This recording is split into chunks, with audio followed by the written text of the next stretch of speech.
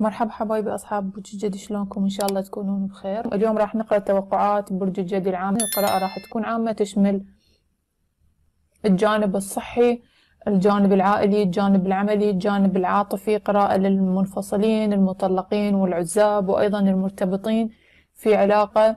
وخلونا نبلش هسه نقرأ التوقعات. أشوف أنه راح أبلش بطاقتك الحالية يا برج الجدي. أشوف أهم الأحداث اللي راح تصير وياك. أكو باب رزق راح ينفتح لك مفاجئ. هذا الرزق أشوفه راح يغير حياتك المادية ويحسن من عندها من بعد ما كانت أمورك معلقة على الصعيد المادي على الصعيد العملي.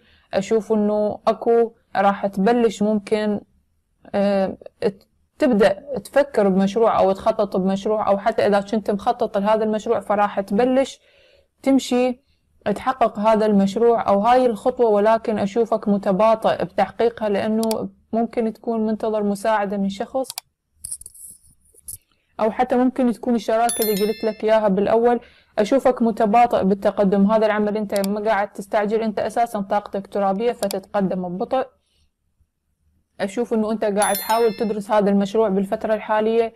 آه، تحاول تقيمه من جميع الجوانب ما عندك روح المجازفة. أنت تفكر هواية قبل ما تخطي خطوة إلى الأمام. أشوفك قلت لك يعني عندك نوع من البطء ولكن أنت قاعد تتقدم من الحلم اللي أنت تريده أو حتى تحقيق هذا المشروع أو العمل. قاعد تتقدم إلى ولكن التقدم راح يكون ببطء. الأمور تبدأ بالتحسن خاصة على الصعيد المادي. أشوف عندك مصاريف هواية مسؤوليات هواية راح تكون خاصة على الصعيد العائلي. ممكن تكون أنت عندك مسؤولية شايل مسؤولية بيت شايل مسؤولية أهل أو حتى أولاد البعض منكم متزوج وعنده أولاد. فأشوف عندك نوع من الملل الروتين من العمل اللي أنت موجود به وده تحاول أنه تفكر بطريقة جديدة لكسب المال الأرباح تركيزك المادي كلش عالي. راح يكون قلت لك لأن البعض منكم ممكن يكون مر بخسارة مالية بالسابق وهاي الخسارة أثرت على وضع المادي بصورة كبيرة وتعلقت أمورك فترة. البعض من عندكم ممكن يكون يعني أنا هاي الورقتين من يطلعن عندي سوا ويا ورقة الشيطان. البعض منكم ممكن يكون أكو عمل مأثر عليه وهو اللي موقف أمورك العملية والمادية فاللي يحسون أو ممكن يكون أكو شخص مسوي لكم عمل وأنتم عندكم علم به أو حتى شك فتاكدوا حصنوا نفسكم أرقوا نفسكم برقية شرعية أكو حسد عالي عليكم أشوفه. أكو هواية أحداث قاعد تصير بيكم بسبب الحسد بسبب ممكن موضوع عمل صاير لكم من إمرأة. دا أشوف هاي الإمرأة عندها طاقة خ... طاقة خبث يعني طاقة مكر خداع ممكن تكون من العائلة وممكن تكون إمرأة غريبة ايا كانت. ولكن أشوف إنه تأثيرها كبير هاي الإمرأة بحياتكم وأموركم. أغلب الأمور هنا طلعت لكم معلقة ويا هاي الورقة فانتو بالتأكيد أكو عندكم طاقة سحر موجودة. ممكن تتعرضون السحر بداية السنة. أو ممكن تكونون تعرضتوا إليه بنهاية السنة الفاتت فأشوف إنه لازم ترقون نفسكم. آه، لازم تسوون استشفاء لأنه حتى وضعكم الصحي ما دا أشوف ذاك الوضع الزين يعني. فأموركم شوية راح تبلش ببداية السنة مو ذيك الأمور التمام شوية بيها تباطؤ أموركم راح تبدأ تتباطأ شوية شوية بالأعمال بالعاطفة بكل شيء عندكم تباطؤ. أكو أمور معلقة ما قاعد تتيسر تحسوها ولكن النصف الثاني إن شاء الله تبدأ تتيسر الأمور تمشي شوية شوية. بس أرجع أكرر لكم طاقة السحر اللي موجودة عندكم قوية جدا. دا أشوفها البعض منكم هاي طبعا قراءة عامة مو للكل البعض. وطبعا البعض اللي دا أقول عليهم هم يعرفون نفسهم يعني. الناس اللي دا أقول أنا ممكن يكون عندها سحر هي أكيد أما تعرف إنه هي عليها عمل أو حتى شاكة بشخص ممكن يكون مسوي لها عمل. فأرقوا نفسكم حصنوا نفسكم من العين من الحسد من السحر. الأذكار دائما خليكم دائما أذكار المساء أذكار الصباح. سورة البقرة اسمعوها. الرقيات الشرعية مال السحر همينة ركزوا عليها بهاي الفترة. حاولوا تكتمون أرزاقكم لا تحجون الأرزاقكم للناس. تكتمون أموركم أموركم الحلوة لنفسكم حتى قضاء الحوائج. هي قضاء الحوائج لازم تنقضي بالكتمان. ف اللي لازم تسويه إنه أنت تكتم لأنه حتى نقاط القوة اللي عندك هي إنه أنت تكتم مشاريعك أحلامك. ممكن الإنسان حتى أحلامه ينحسد عليها. تكتم أموالك تكتم على كل شيء حلو موجود بحياتك. حاول تحافظ عليه مثل ما يقولون إخواننا المصريين داري على شمعتك تئيد. فأنت حاول إنه تكون كتوم بهاي السنة على أرزاقك على أحوالك العاطفية استقرارك العائلي أي موضوع ممكن تريد تخطي عليه خطوة حاول أنه تكتمه بهاي السنة لأنه عندك طاقة حسد كلش عالية موجودة وأيضا طاقة العمل للبعض من عندكم موجود اللي يعرفون نفسهم من أقول طاقة عمل هم يعرفون أنهم ممكن يكونون متعرضين للسحر فأرجع أكرر لكم حاولوا تحصنون نفسكم بالأذكار أو تتخلصون من هذا السحر اللي موجود عليكم لأنه راح يعرقل لكم هواية أمور خاصة الأمور المادية لكم هاي على الصعيد العملي قلت لكم أشوف عندكم تقدم بالعمل راح يبدأ يبلش ببطء شوية لأنه أنت خطواتك بحذر ومتباطئ أشوفك على الصعيد العملي بدك تمشي بحذر خطوة خطوة.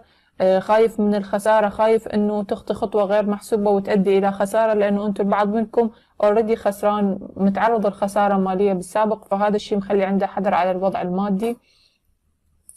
بالفترة الحالية وراح تتقدم ببطء بمشروع وأشوفك راح تنجح بهذا المشروع. المشروع اللي أنت قاعد تشتغل عليه ممكن يكون بتنقل ممكن يكون بمكان بعيد عليك أو حتى بسفر. فأشوف الأسفار البعض من عندكم عنده سفر متأجل صار له فترة. يا برج الجدي السفر إن شاء الله بداية الشهر الثاني للناس اللي مقدمين على هجرة أو شيء وأمرهم كان معلق. فأشوف شهر الثاني أكو راح يجيكم خبر عن موضوع سفر كان متأجل عليكم أو متأخر صار لفترة وراح يتيسر ويتم هذا السفر. خلونا ننتقل على الوضع الصحي. الوضع الصحي مثل ما قلت لكم يعني الطاقة قاعد تكرر نفسها. البعض منكم هو اوريدي متعرض للسحر. أو عمل أو حتى طاقة حسد كبيرة. وهذا الشيء مأثر على أمورك كلها. أشوف إنه ممكن تعانون من مشاكل بالظهر بهاي الفترة. الظهر المفاصل أكثر شيء بعض الناس من عندكم دا أشوف عندكم آلام بالظهر بالأقدام دا تصير عندكم بالمفاصل. هذا الشيء محتاج منك وقفة محتاج منك إنه تستشير طبيب. هواي الناس قاعد أشوف يعني مريتوا بأزمة صحية بسابق أو حتى حتمرون بأزمة صحية ولكن راح تعدي إن شاء الله الأمور على خير وراح يصير عندكم شفاء ولكن محتاج من عندكم تركيز أكثر تخلون تركيزكم على الوضع الصحي وتهتمون به البعض منكم أشوف ممكن تكون عنده مشكلة بالأكتاف وبالظهر أكثر شيء هذا طالع يمي على الوضع الصحي. فإذا كانت عندكم هاي المشكلة حاولوا تحلوها لأنه إذا ظليتوا تهملوها احتمال تتعرضون يعني عملية جراحية تخص هذا الموضوع. العملية الجراحية إذا كانت تخص الظهر أنا قلت لكم أشوف إنه الأمور تعدي على خير ولكن محتاجة منك تركيز. لازم تهتم بأوضاعك الصحية بهاي الفترة وتركز عليها بصورة عامة. بالنسبة للأوضاع العائلية برج الجدي احذر من شخص منافق موجود بالعائلة وياك. هذا الشخص ممكن يكون مقرب وطاقته هنا طالعة يمي طاقة هوائية. هذا الشخص قاعد أشوفه ممكن يكون ينقل كلام بالبيت أو حتى يسبب فتنة يسبب مشاكل. آه، هذا الشخص ممكن يكون دا يغشك أو حتى البعض من عندكم ممكن يكون هاي طبعا القلة قليلة منكم. البعض منكم هذا الشخص اللي من العائلة موجود ممكن يكون سارق منك أموال أو سارق منك حاجة. وأنت بعدك لحد الآن ما مكتشف هذا الشيء. أشوف راح تكشفه بالفترة الجاية ولكن احذر من عنده أشد الحذر لأنه هذا الشخص أول شيء ينقل كلام منك ويوديه لغيرك وتسبب مشاكل بينك وبين الأطراف الثانية اللي موجودة. هذا شخص ممكن يكون حتى هو اللي على الصعيد العاطفي هو اللي موقف أمورك أو حتى هو سبب الخراب اللي صاير بينك وبين الشريك. طبعا للبعض منكم وللكل اللي قريت طاقتهم بالبداية. فأشوف إنه هذا الشخص اللي من العائلة احذر من عنده أشد الحذر. ممكن هذا الشخص يسرق منك أموال ممكن يسرق منك حتى أفكار. ممكن يكون آه، يسرق منك ياخذ منك كلام وهذا الكلام ياخذه ينقله لغير ناس وتسبب لك مشاكل. هذا الشخص أشوفه اللي موجود بالعائلة يسبب لك مشاكل هواية متاعب هواية وأيضا عنده طاقة الأعمال بالخفاء. يشتغل من وراء ظهرك يحاول يخرب عليك أمورك فاحذر طاقة هذا الشخص اللي موجود بمحيطك واللي قاعد أشوفه من العائلة. شخص من مقرب من عندك لأنه هاي ورقة العائلة.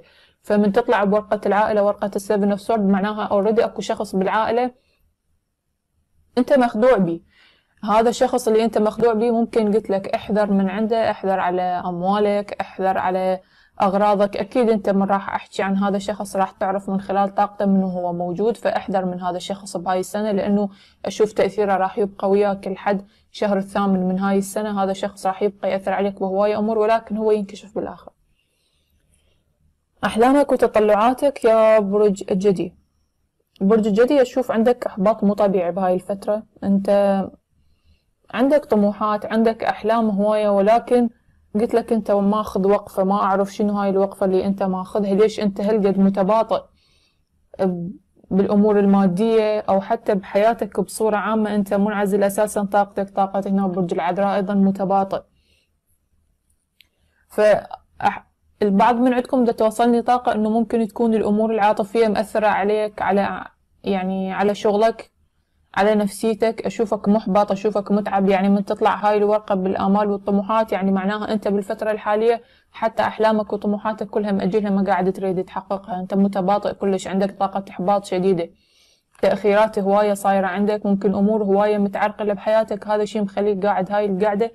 برج جدي أرجع وأقول لكم أشوف إنه أكو عمل مأثر عليكم بصورة كبيرة أو حتى طاقة حسد كلش عالية. حاولوا ترقون نفسكم من الحسد ومن طاقة العمل للناس اللي تعرف إنه هي ممكن يكون عندها عمل. فهاي طاقة مال الإحباط من تطلع بالآمال والتوقعات معناها أنت ماخذ وقفة أنت موقف كل شيء بالفترة الحالية خاصة أول أربع أشهر من السنة. أشوفك راح توقف أمورك كلها توقف أحلامك توقف يعني حتى أوضاعك العاطفية. أنت ما تريد تمشي تخطي خطوة إلى الأمام. أنت باقي متوقف بمكانك بهاي الفترة. ولكن بعد هاي الفترة أشوف أمورك تبدأ شوي شوية تتحسن تستعيد القوة. البعض منكم ممكن تكون عنده أحلام وطموحات يتطلع على عمل جديد ولكن هو باقي على المضمون. لأن قلت لكم هنا عندكم تباطؤ. فأنتم متباطئين ما قاعد تمشون تخطون خطوة جديدة. أنتم باقين على شيء المضمون اللي موجود عندك الثابت. وإذا تحاول تشتغل عليه قاعد ترفض هواية عروض قاعد تجيك. ممكن تكون من أشخاص أنت تعرفهم. أعمال جديدة أو آه، شراكات جديدة دا تحاول أكو أشخاص قاعد يجون دا يحاولون إنه ممكن يحققون شراكة وياك ولكن أنت قاعد أشوفك متباطئ وما قاعد تخطي خطوة إلى الأمام قلت لك. فحتى أحلامك وطموحاتك أنت بالفترة الحالية ناوي إنه تركز على الشيء اللي موجود بين إيدك خاصة أول أربعة أشهر من السنة لأنه عندك مخاوف. وبعدها تبلش تبدأ البداية الجديدة أو تنطلق مثل ما نقول. أنت حاليا دا أشوف وضعك طاقتك طاقة تباطؤ بكل الأمور. ف خلونا ننتقل للوضع العاطفي إلى برج الجدي اللي قاعد أشوفه مأثر على حياتك كلها بصورة عامة. برج الجدي مثل ما قلت لكم البعض منكم مار بانفصال هاي الورقة ويا هاي الورقة هي ورقة النهاية.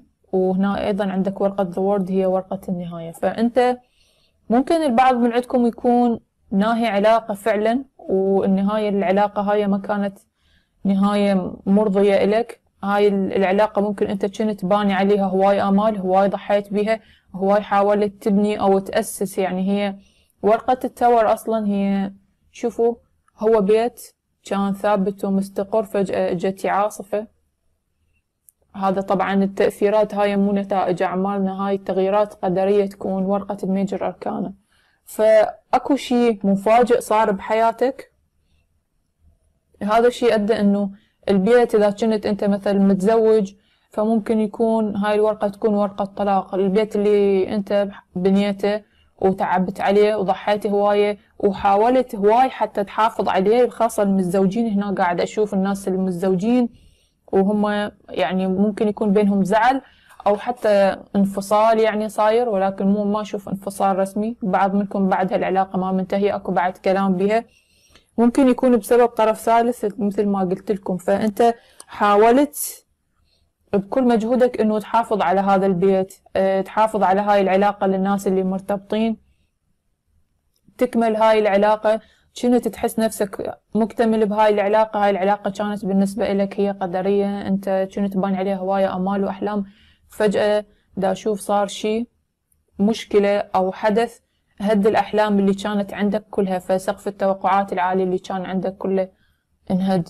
لها سبب أنت عندك إحباط ومتعلقة أمورك كلها قلت لكم يعني ممكن تكون طاقة السحر هي اللي مأثرة لأنه طلعت أيضا ورقة الشيطان. بالعلاقة العاطفية فممكن العمل اللي عندك يكون عمل عاطفي ممكن يكون يعني من طرف آه، شريك إلك أو حتى من ناحية الطرف الثالث اللي موجود بينك وبين الشريك هو ممكن يكون اللي مسوي هذا العمل اللي مخليك بهاي الطاقة المتعبة. فالعلاقة هاي قلت لكم ممكن تكون ويا شخص من برج ناري ممكن تكون ويا شخص من برج الجدي مثلك أو حتى برج الحمل هنا موجود يمي برج القوس برج الثور برج العذراء برج العقرب. برج السرطان هاي ورقة أشوف هاني برج السرطان وأيضا برج الميزان. فإذا كنت تتعامل ويا أحد هذه الأبراج اللي موجودة؟ أشوف قلت لك أنت عندك مخاوف أكو علاقة. أنت من السابق تعرف أنه العلاقة هاي لازم تنتهي كانت بس أنت كنت تحاول تقاوم الانفصال أو إذا كانت بعدها منتهية فأنت لحد الآن قاعدة تحاول تأخر موضوع الانفصال. تعرف أنه الانفصال راح يصير ولكن أنت ما متقبل التغيير ما متقبل النهاية ويا هذا الشخص. أشوف ممكن يكون هذا الشخص هو اللي ينهي العلاقة وياك وأنت بالفترة الحالية قاعد تحاول ترجع هذا الشخص لحياتك أو حاولت ترجع هذا الشخص لحياتك زيادة عن اللزوم ولكن هذا الشخص انطاك ظهره وراح ممكن يكون هذا الشخص حتى بلش بداية جديدة بعيدة عنك. عندك ورقة النهاية. أكو صفحة كانت ما مغلقة من الماضي. يعني ممكن تكون منتهية ولكن ما مغلقة بشكل تام. ممكن كان باقي بها تواصل أو حتى أمل أشوف هاي العلاقة اللي أعطيتكم المعالم مالتها. كانت بينكم مو صحية كانت متعبة. كان بها طرف ثالث دائما يخرب عليكم بالعلاقة. وحتى ممكن تكون اكتشفت موضوع شخص ثالث أنت وهذا الشيء اللي صدمك أو فاجأك. هاي الصدمة الكبيرة تجاه شخص وقررت إنه تنهي العلاقة لأنه قاعد أشوف إنه أنت خلاص قررت ما تنطي بعد فرصة ثانية لهاي العلاقة. أنت ناهي